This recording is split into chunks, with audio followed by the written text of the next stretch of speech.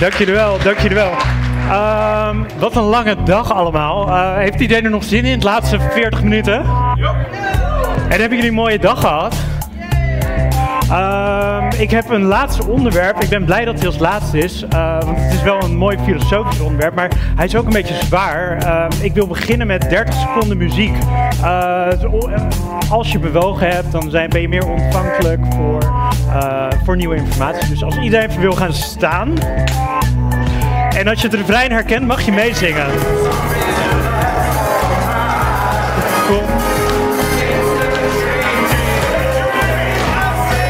Oké, okay, dan gaan we.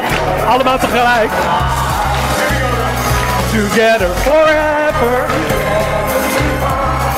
Together forever. Oké, okay, and going on. Applaus voor jezelf! Oh, dat is een... en... Zo. dus, Applaus voor jezelf. Iedereen is wakker. We zijn nu ontvankelijk voor uh, grote ideeën. Dit moment was het mooiste moment, een van de mooiste momenten van mijn leven. Um, ik was, je ziet daar Rick Astley en het plaatje Together Forever.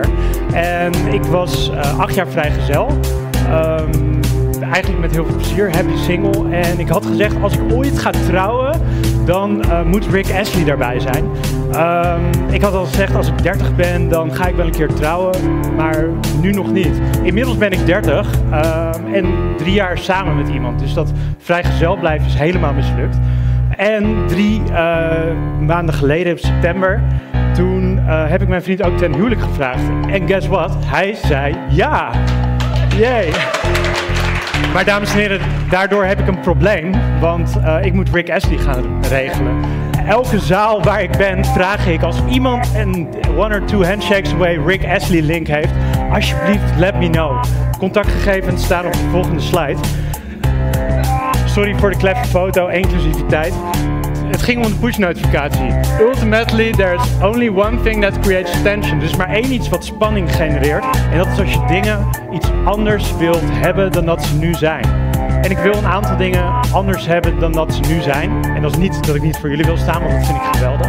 Maar er zijn een aantal dingen in de wereld die ik op wil lossen. En dat kan met niemand beter dan met de mensen met wie ik nu omringd ben. De mensen van de WordPress community.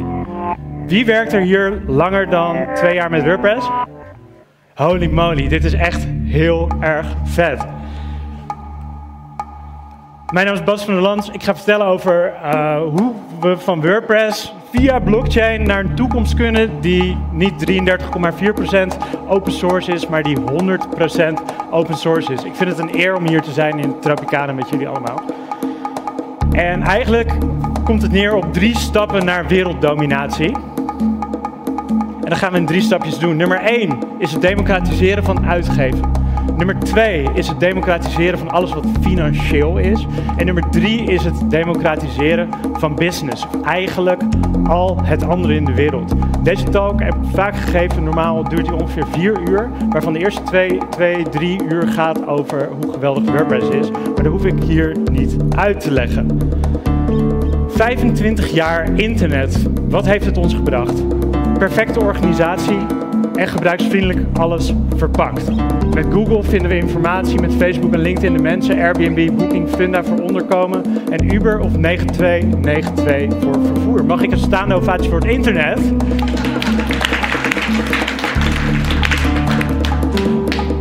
Maar er zijn ook een aantal dingen die we moeten fixen. En ik ga even heel kort door de bocht. Maar we hebben dingen die misgaan met data, of express of niet express, Cambridge Analytica, om maar iets te noemen. De verspreiding van de welvaart in de wereld. Uh, dat veel data geld verdwijnt naar monopolies. Uh, censuur, demonetization, ga ik zoiets over vertellen. Inclusiviteit van de 7 miljard mensen in deze wereld hebben er 1,8 miljard geen bankrekening, dus geen toegang tot hypotheken, diensten zoals dat. Hebben wij hier niet zoveel last van misschien ook wel steeds meer. Uh, denk aan een huis willen kopen in een grote stad. En fake news, clickbaiting. Uh, er wordt veel meer geoptimaliseerd voor aandacht in plaats van kwaliteit. Ik ga wat kort door de bocht, maar dit zijn een aantal dingen die wij met z'n allen hebben op te lossen op het internet. Werelddominatie in drie stappen, of een 100% open source wereld. Democratisch maken van publiceren, financieel en zakelijk. En een spoiler alert, wij als mensen van de WordPress community die open source in ons hart en nieren hebben, gaan de komende 10 à 25 jaar een hele grote rol spelen in de wereld waarin we leven. En we gaan het heel veel makkelijker hebben dan heel veel andere mensen, want wij snappen wat veel anderen nog niet snappen. Station nummer 1 is het democratisch maken van uitgeven. Wie herkent deze zin? Veel mensen zie ik knikken. Dit is de missie van WordPress, het democratize publishing. En de beste manier om het uit te leggen is eigenlijk het omgekeerde verhaal van waarom moet publiceren democratisch worden. Als je kijkt naar YouTube, um, er zijn veel mensen die hebben van content maken hun werk gemaakt. Die um, starten een kanaal of over lifestyle, nou er zijn een aantal van, maar ook over hoe bestuur je een vliegtuig. Je kan het zo gek niet verzinnen en er is een YouTube kanaal voor. Per minuut wordt hoeveel uur video geüpload? Tussen de 3 en 400 uh, uur per minuut. Dat is best wel veel. En wat zag je met de opkomst van, uh, van grote productie van content, kwam ook wat rotte appels daartussen. En uh, nou, terrorisme, dat soort dingen moet er allemaal uit. Maar wat gebeurde er? De adverteerders die met elkaar ongeveer 4 miljard aan winst voor YouTube inbrengen per jaar, die uh, zeiden: Ho, als mijn content of mijn advertentie naast een filmpje komt te staan waarmee ik het niet eens ben, dan is dat slecht voor mijn merk. Waarop YouTube zegt: Ho, wacht, uh, als jij je advertentiegeld terugtrekt, dan zitten, zitten wij met problemen. Dus lieve adverteerders, jullie zijn de baas op ons platform. Um, resultaat: contentmakers die hun baan hadden opgezegd om content te gaan maken, konden overnight hun bread and butter, hun job verliezen.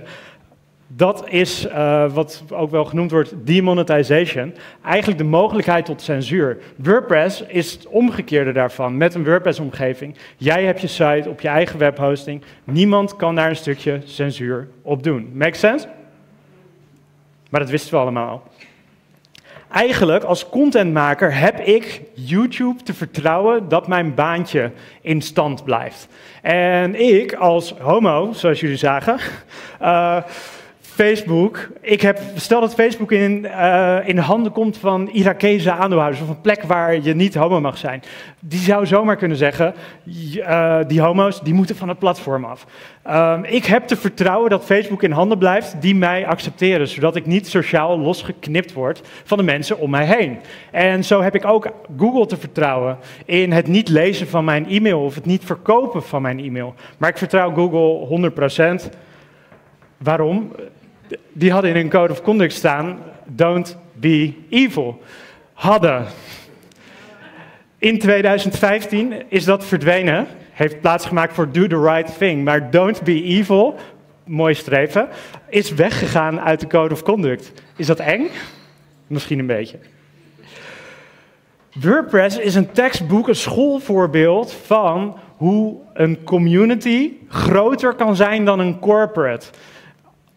Hoeveel procent is WordPress? 33,4, zei Joost uh, de Valk in een interview van de week. Uh, dat is officieel meer dan een derde. Gefeliciteerd aan iedereen. En uh, de nummer 2, nummer 2 CMS wereldwijd, ook van de commerciële, 3 procent. Dus we zijn tien keer zo groot als de nummer 2, maar het is allemaal open source wat domineert. Er is een community groter dan elke commerciële oplossing. Daar concurreer je niet tegen op. Waarom is WordPress zo succesvol? Mijns inziens uh, omdat het het eerste CMS, wel een van de eerste met what you see is what you get. Gebruiksvriendelijkheid. Natuurlijk, veel mensen gebruiken het omdat het gratis is, maar de adoptie is snel gegaan door de gebruiksvriendelijkheid. Toen wij startten met WordPress, meer dan tien jaar geleden, toen uh, was het feit dat je kon publiceren op het internet met het gemak van Microsoft Word, was zo bizar. Dat maakte dat je als ondernemer geen programmeur meer nodig had om te publiceren. Destijds mind-blowing. Als we het WordPress-ecosysteem uh, uittekenen, dan zeggen wij, we hebben Automatic versus uh, uh, WordPress.org. Community is groter dan een corporate. we decentraliseren het internet een beetje. Waarom gebruiken site-eigenaren WordPress? Nou, Beste technologie, toegankelijk voor iedereen, gebruiksvriendelijk, innovatie gaat snel. Als er een nieuw social platform komt, is er binnen een week een plugin. Universeel, er zijn veel mensen die het aanbieden. En ownership van de eigen data, belangrijk. Waarom ontwikkelen mensen voor WordPress? Nou, credibility. We hebben een eh, GDPR-plugin gemaakt, 100.000 actieve gebruikers. Uh, daardoor vinden wij makkelijker nieuwe programmeurs. En klanten vinden dat cool. En dat op die manier, waarom ben je vrijwilliger op WordCamp? Omdat, of, omdat je iets bijdraagt aan uh, de plek waar je bent. En dat komt altijd, alles wat je geeft in een community, komt een keer bij je terug. Dat is de ervaring van de meeste mensen. Wat gebeurt er als je een spin zo door tweeën doet? Ah, dan gaat hij dood. Wat gebeurt er als je een zeester in twee stukjes doet? Dan komen er twee zeesterren terug. Google dat maar eens. En als je hem in vijf doet, dan komen er vijf zeesterren terug.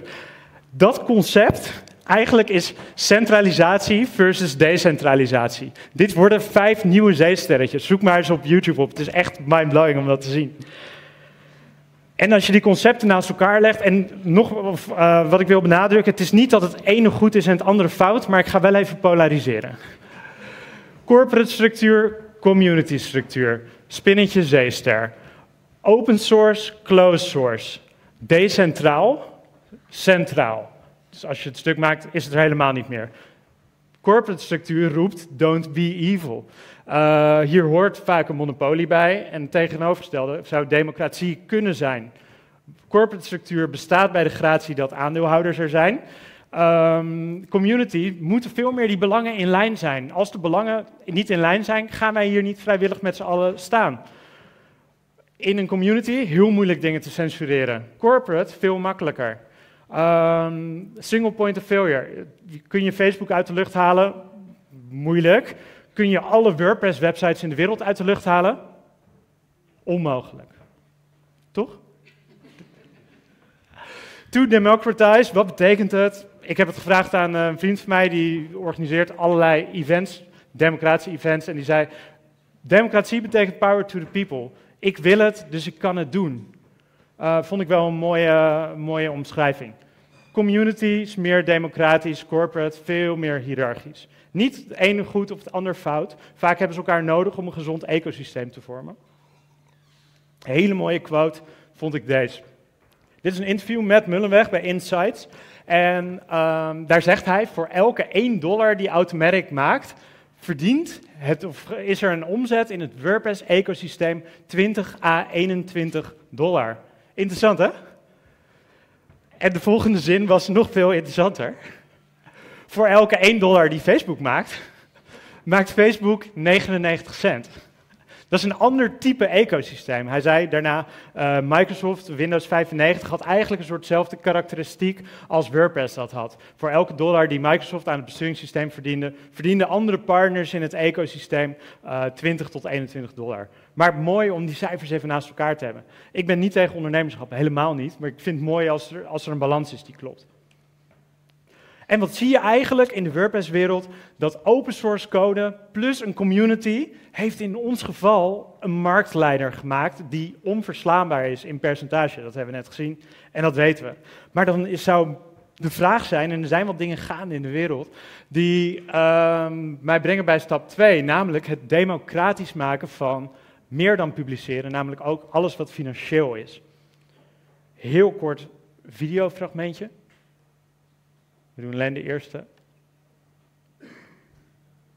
I think that the internet is going to be one of the major forces for reducing the role of government.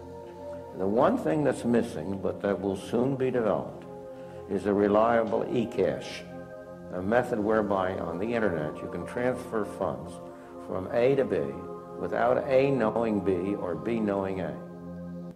Ik heb van alles wat ik in de presentatie heb, heb ik steeds linksonder een knopje en dat heet bron. Uh, en ik deel de slides stipt. Bij mijn laatste zin komen mijn slides op Twitter. Dus dan uh, kun je alles verder kijken wat je wil of niet wil.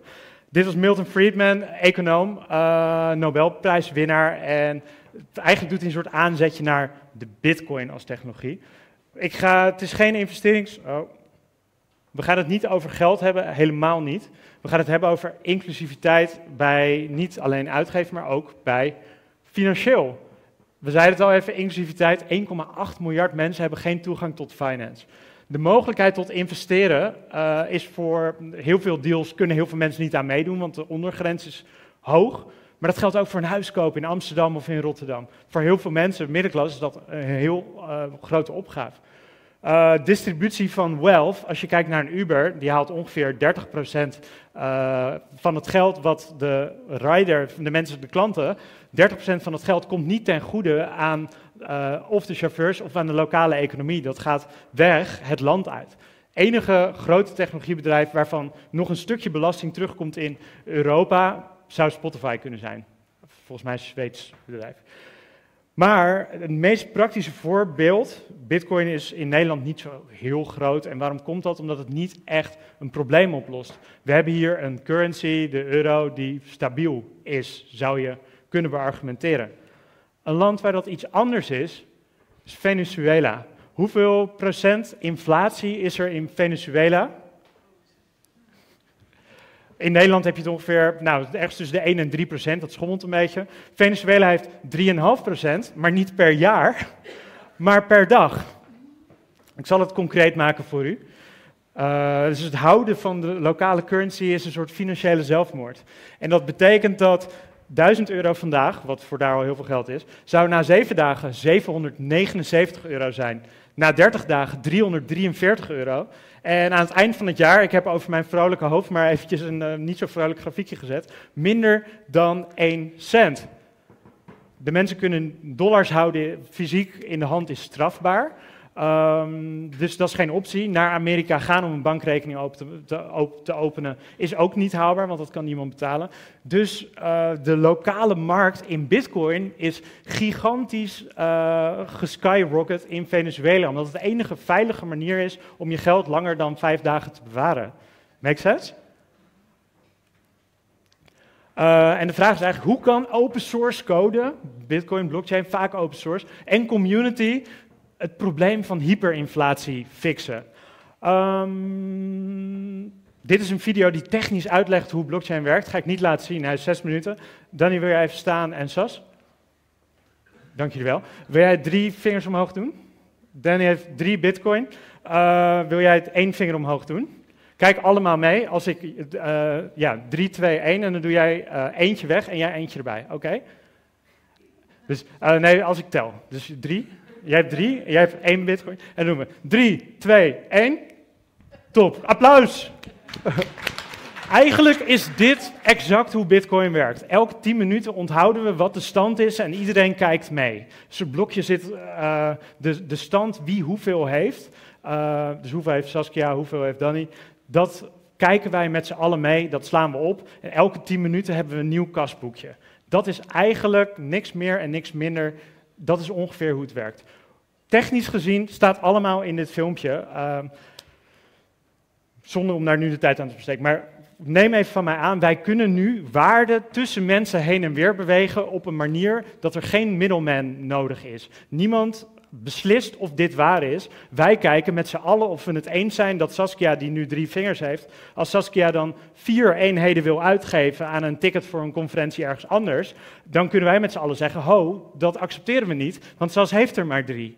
Make sense? Dat is technisch hoe het werkt. Hoe ziet, uh, als we, hebben net gekeken, het ecosysteem uh, WordPress. Bij Bitcoin heb je ongeveer dit. Open source software Bitcoin. Uh, we hebben de mensen die het gebruiken. We hebben de mensen die ze minen, dus die elke 10 minuten zo'n blok maken met die transacties, die dat feitelijk bijhouden. Uh, de Bitcoin-gebruikers die kunnen veilig waarde uitwisselen met elkaar, zonder middleman, dus ook niet een bank die dat kan uh, onderscheppen of kan kiezen of mensen wel of niet een bankrekening mogen. Lage fees, inclusief, iedereen kan meedoen en een soort van anoniem. Um, Bitcoin miners, dus dat zijn de mensen die elke 10 minuten zo'n blokje kneden, uh, die beveiligen het netwerk in ruil voor een fee. Elke 10 minuten krijgen zij een beloning ervoor die ze verspreiden met elkaar. Uh, dat zijn de block rewards. Dit is ongeveer hoe het werkt, maar dat hoef je niet te onthouden. Waar het op neerkomt, de blockchain fanatisten. Ik ben er daar eentje van, maar nog net niet genoeg uh, geradicaliseerd. Het internet, die zeggen het internet is fundamenteel uh, niet veilig bij het ontwerp. Natuurlijk hebben we SSL, maar dat zijn pleisters om te plakken. Maar we hebben nu nog een PayPal nodig om uh, geld met elkaar uit te wisselen en terug te krijgen als iets misgaat. Die blockchain-technologie maakt het mogelijk om waarde onderling uit te wisselen zonder middelman. En daarin kunnen we een klein stukje gaan programmeren. Programmeerbaar geld. Nou, daar, een ding waar iedereen van gehoord heeft is de ICO. Geld ophalen, een soort, uh, je stort op een rekening, je krijgt daarvoor tokens van een specifiek project terug. En dan hoop je dat ze geld waard worden. Het uh, mechanisme is heel veel misbruikt, er heel veel scams in geweest, maar technisch gezien hoe het werkt is wel heel interessant. Uh, ik kan zeggen, ik ga mijn taxibedrijf beginnen. Ik geef duizend Uber-tokens uit en ik ga proberen die te verkopen aan de mensheid. Uh, in een soort crowdfunding kan ik zeggen, nou, in 30 dagen, iedereen die geld stort, die krijgt uiteindelijk een deel van die Uber-tokens. En daarmee heb ik feitelijk een soort nieuwe business gefinancierd. Als die tokens kunnen, gebruikt kunnen worden voor taxiritjes, als de software, de open source software klaar is, dan heb je eigenlijk je business gefund en worden die tokens meer waard. Eigenlijk een soort belegging, maar waar het om gaat hier is niet of je wel of niet in ICO's moet investeren. Ik zou het niet doen. Maar de technologie dat dit helemaal geprogrammeerd kan worden, heel simpel, dat is interessant. Snapt iedereen een beetje dat concept? Het is crowdfunding, maar dan geautomatiseerd. Voor de allereerste keer door die blockchain-technologie zijn we uh, in history is het mogelijk om onderling met elkaar waarden uit te wisselen zonder dat iemand kan beslissen met wie je dat wel of niet mag doen. Dus wat zie je daar? Bij Bitcoin heeft in Venezuela dat probleem. Wat hebben zij letterlijk gedaan? Vroeger ging het over de scheiding van religie en uh, staat. En wat doet Bitcoin daar? Die doet feitelijk een soort scheiding tussen uh, de staat en kapitaal, staat en geld. Dat is waar die blockchain-beweging om gaat. Niet een staat die beslist of niet een monopolie die beslist, maar wij kunnen zelf ons waarde opslaan. Make sense? Dan komen we bij station nummer drie. Want als we dan dat financiële door programmeerbaar geld kunnen oplossen, kunnen we dan niet met die vibe die wij in de WordPress community hebben, wij snappen open source software, wij snappen dat we dat met elkaar maken, daarover praten met elkaar en daardoor zijn wij een market leader, kunnen we dat brengen naar meer? Dan gaan we heel eventjes, wie heeft er kinderen? Uh, wie vindt er uh, dat zijn kinderen te veel op Facebook of social media zitten? Wie vindt er van zichzelf dat hij te veel op social media zit? Paar, oké. Uh, daar verdient, uh, social media is de business van aandacht. En hoe meer aandacht zij krijgen, of een, Facebook krijgt, hoe meer zij daaraan verdienen. Hoeveel, uh, voor hoeveel is onze aandacht verkocht aan Facebook vorig jaar? 55,8 miljard dollar. En uh, wat je ziet is negatieve berichten of netberichten krijgen veel meer reacties dan positieve. Dus eigenlijk is de incentive om negatief te posten of hoog in de tijdlijn te laten gaan, is, dat zou in voordeel zijn van de aandeelhouders van een Facebook. En eigenlijk, wat is er aan de hand? Wij en onze kinderen hebben met elkaar te vechten tegen een algoritme wat ontworpen is om misbruik te maken van ons aandacht. Bij mij, toen ik dat hoorde, dat resoneerde enorm. Um, zouden wij, als wij democratisch kunnen stemmen op een algoritme, dus niet een aandeelhouder, maar wij als gebruikers, zouden wij dan kiezen voor zo'n algoritme of zouden we voor iets anders kiezen? Laten we even naar Uber gaan. Veel technologiebedrijven die hebben value creators. In een Uber is dat uh, de chauffeur, value uh, extractor, de klant. En dan aandeelhouders. Um, die, zonder die aandeelhouders was er nooit gekomen. Ik ben pro-ondernemer. Iedereen, uh, deze betaalt een soort fee, uh, deze betaalt een fee. En waar is Uber mee bezig? Continu kijken zij, kunnen wij dat stukje wat naar die chauffeur gaat kleiner maken? Eerst kreeg de chauffeur een heel groot deel, ging er iets van 15% naar Uber. Dat is ongeveer naar 30% gegaan. En bij de consument wordt steeds gekeken, oh, kunnen we ze meer laten betalen? Hoeveel kunnen we laten betalen zonder dat iemand afhaakt? Kunnen we een keer 1,8 doen? Uh, herkent iedereen dit? Redelijk. We zijn geen Uber-chauffeurs, maar het idee is duidelijk. En ehm, wat je ziet is de soort misaligned interest. Je hebt de, uh, de mensen die het ten goede komt, je hebt de gebruikers, maar de enige reden waarom het bestaat, zou je kunnen zeggen, heel bluntly stated, is dat er winst gemaakt wordt. Als er geen winst gemaakt werd door de aandeelhouders, dan zou uh, Uber niet bestaan. Eens? Wat nou als je die software, bijvoorbeeld gefinancierd met zo'n ICO, als je die software open source zou maken? Um, dus met een tokenmodel. De chauffeur die verkoopt zijn tokens aan degene uh die rijdt. Daardoor krijgt die token meer waard. En die, dat hele algoritme voor het matching zit in open source software. Dat zijn de dingen die nu aan het gebeuren zijn. Waardoor je eigenlijk die middenspeler die je hebt, deze, die voorkom je eigenlijk, zoals we dat bij WordPress ook gedaan hebben. Bij WordPress heb je niet het centrale bedrijf waar ieder die aan beide kanten een stukje provisie vangt. WordPress is helemaal een gesloten economische loop. In het geval van WordPress eigenlijk zonder geld. Het enige waarmee we betalen is reputatie door deze technologie, die blockchain en smart contracts, kunnen we zo'n hele loop maken, maar waarin geld onderdeel wordt van het ontwerp. En wat krijg je daardoor? Daardoor krijg je een soort Uber of welk bedrijf dan ook, waarin iedereen die daarin meedoet, net zoals in de WordPress community, iedereen is, die het gebruikt, is ambassadeur. Het brengt iedereen iets uh, waardoor ze verdedigen WordPress is goed. Als meer mensen WordPress gebruiken, wordt WordPress beter. Als meer mensen die taxi-app gebruiken, dan wordt dat tokentje meer waard, waardoor de chauffeurs er baat bij hebben om andere mensen aan boord te halen, maar ook de klanten om andere klanten aan boord te halen. Hoe ga je concurreren met een CMS met 75 miljoen uh, gebruikers? Hoe ga je concurreren met een CMS met tienduizenden developers? Hoe ga je concurreren met een taxibedrijf waarin iedereen zich een beetje aandeelhouder voelt? Dat is praktisch onmogelijk. Ik zou niet weten waar ik zou beginnen. Voorbeeldje op contentgebied, uh, Steamit. Heeft iemand daarvan gehoord? Waar? Wat is Steamit? Steamit is eigenlijk een soort WordPress.com-achtig iets. En wat hebben zij gedaan?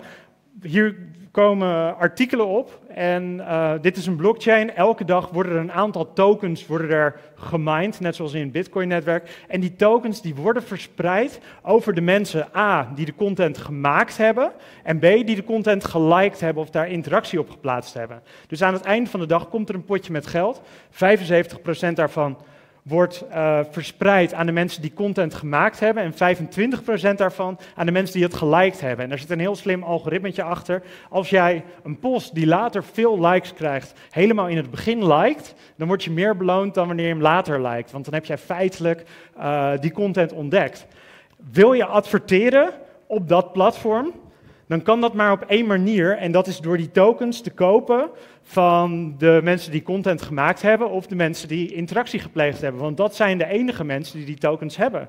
Zo heb je eigenlijk die financiële loop helemaal rondgemaakt. Make sense? Bizar toch? Eigenlijk met open source technologie krijg je op een transparante manier waar je kan zien hoe het werkt, betrouwbaar en inclusief, iedereen kan meedoen, krijg je die hele loop rond. En wat zegt de blockchain-beweging nog meer? Als je binnen vijf jaar je content niet timestampt op de blockchain, dan uh, wordt de vraag, wat heb je te verbergen? Nu klagen we al met z'n allen over de mediamarkt. Oh, veranderen ze stiekem hun prijzen in het weekend?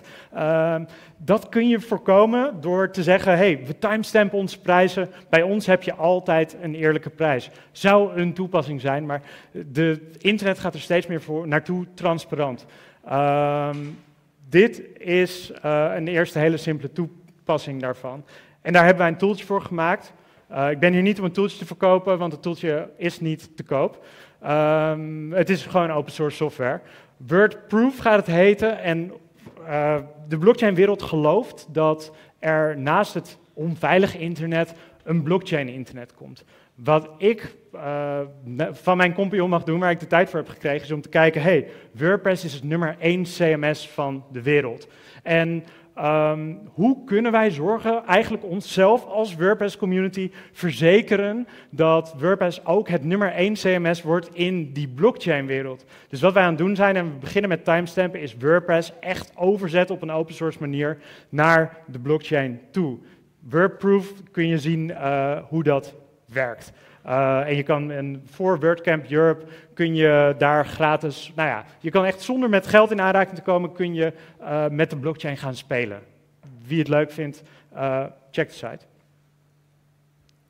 Dat project is gefund ongeveer 20.000 dollar, door een uh, ding, door een soort subsidietje die bedacht is door, uh, door een blockchain project ook. Op een totaal democratisch proces hebben wij ongeveer 20.000 dollar, we hebben er veel meer al ingestopt, maar uh, losgekregen wat maakt dat iedereen open source software kan gaan maken. Artikel daarover wordt ook zo meteen getweet. Ik heb daar onder andere met Joost heb ik daarin genoemd, WordPress genoemd als voorbeeld van hey, hoe dat dan zou kunnen werken, maar over hoe je gratis open source software kan vinden. Heel interessant voor mensen die wel willen bijdragen aan software, maar niet uh, de tijd of het geld hebben om, dat, om daar heel veel tijd voor vrij te maken. Dus dat artikel komt ook zo. Um, WordProof. En wat we eigenlijk gezien hebben met dat laatste model erbij, naast het democratisch maken van uitgeven, naast het democratisch maken van geld, kunnen we op deze manier het hele zaken doen in de wereld democratisch maken, lijkt wel. Inclusief voor iedereen. Door met open source software elke vorm van middleman te weg te halen uit het proces. En daardoor krijgen we eigenlijk de kans om uh, van A tot Z het hele zaken doen zoals we dat vandaag de dag kennen, opnieuw vorm te geven. We kunnen goede businessmodellen maken die iedereen in het ecosysteem die er onderdeel van is, beloont. En niet alleen aandeelhouders die daarboven staan. En uh, hoe meer ik erover nadenk, hoe meer kippenvel ik daarvan krijg. Ik ben sinds 2013 daar als hobby mee bezig, sinds begin van het jaar fulltime. En waar kunnen we naartoe? We kunnen shiften van een wereld waarin we eigenlijk met elkaar moeten zeggen: vertrouw me, ik don't be evil. We kunnen een wereld gaan ontwerpen die uh, zo in elkaar zit dat we niet evil kunnen zijn. We kunnen aantonen dat je met die software niet evil kan zijn. Uh, make sense? Nice. Uh, en daarmee gaan we van een wereld van mij, uh, waarin ik alles doe, bij wijze van spreken voor mezelf, naar een wereld waarin alles wat ik doe jullie ten goede komt. En alles wat ieder van jullie doet, mij ten goede komt. Van een wereld van mij naar een wereld van wij. En uh, daar wilde ik eigenlijk mee afsluiten. Ik heb nog even uh, WordPress in 2030, want zo heette de talk waarmee jullie gelokt zijn. Uh, dus wat, wat is er in 2030? WordPress ook het nummer 1 CMS op de blockchain. Who runs the world? De WordPress community, want wij zijn de eerste in de wereld die dit snappen met elkaar. Daar gaan wij de komende jaren heel veel profijt van hebben. En uh, de Truly Inclusive Funding van open source software, daarover staat het artikel, wat over precies één minuut op mijn Twitter staat. En dat is at the Lans. Van don't be evil naar can't be evil, van een wereld van mij naar een wereld van wij allemaal. Dat is hem.